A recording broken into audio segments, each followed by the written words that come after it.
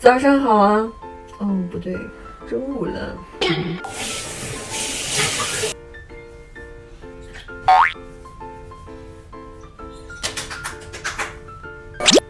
啊，今天是我在这个房间待着的第六天，一直憋着，所以脸上憋出几个痘。嗯，所以我每天早晨都会湿敷一下，还有晚上。平时会在房间，如果我没事儿的话，我会研究研究怎么做吃的，尤其是这几天，研究很多很多的菜品。嗯，今天我就给大家做一个既简单又很简单的 好吃的。每天早晨起来，我都会打豆浆，有一个专门的豆浆机，非常非常方便，有各种各样的果汁、温水、米糊、五什么五谷、清养，这都可以。喝完一杯豆浆，黑豆，每天早晚一杯。黑豆啊、黄豆啊，什么什么什么豆儿，你喜欢的豆儿都可以加到里面，非常的精致。今天我要做的东西已经在这儿摆好了，好开心呀！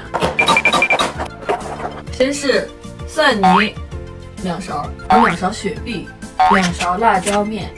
然后做什么我还没跟你们说哈，做一个拌面，韩式拌面，两勺生抽，喝一口保温杯里泡枸杞的枸杞水，两勺白醋，这个也是我第一次做，没有尝试过。其实要用白芝麻，但是我这儿只有榨豆浆的黑芝麻。两勺香油，重点来了，韩式大酱一大勺，也是他们的灵魂吧？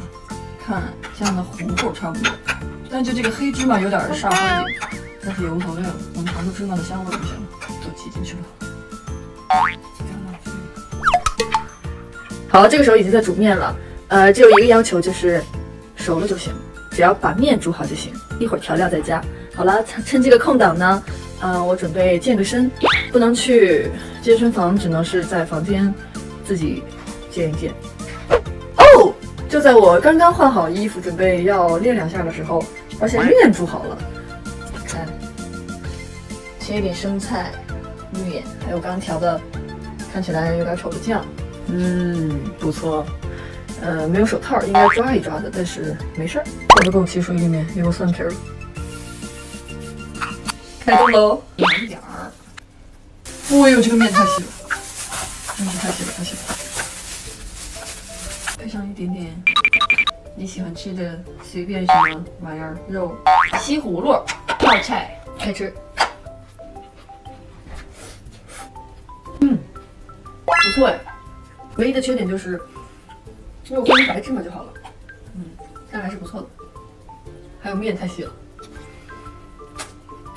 由于呢我还在剧组，然后我在这个房间已经待了很多天了，我一个人啊就已经被封印了。平时没事呢就在房间看手机、看电视、看电影、看书，就是这样。做饭，呃，从来没有这么闲过。那颈椎肯定会很不舒服，而且很容易胖。好。但是现在胖不胖呢都没有人看，但是还是要好好管理一下自己的身材。那我今天就做几个，就是很简单的拉伸动作。条件有限啊，垫了块浴巾，简单盘个腿儿，伸一下你的胯。这这也是帮助你调整胯，因为你总是坐在坐在那儿，各种姿势都有，所以很容易定型。因为我的。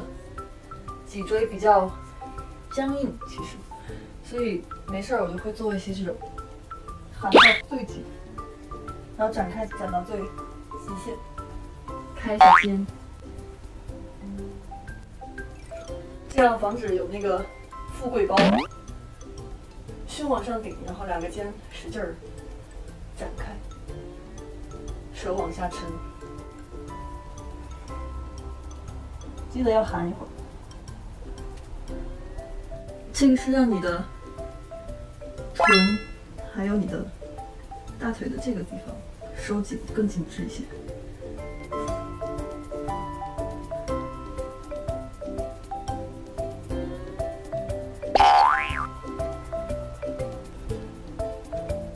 刚健完身，打开电视，居然看到了自己，哼！这几天闲着呢，把之前没追完的。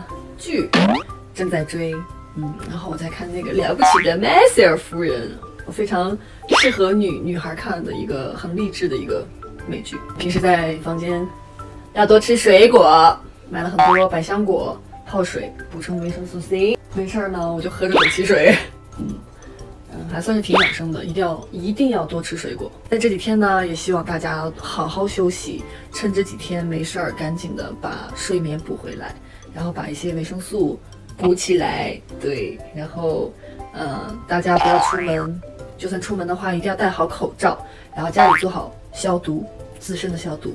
对，多喝水哦。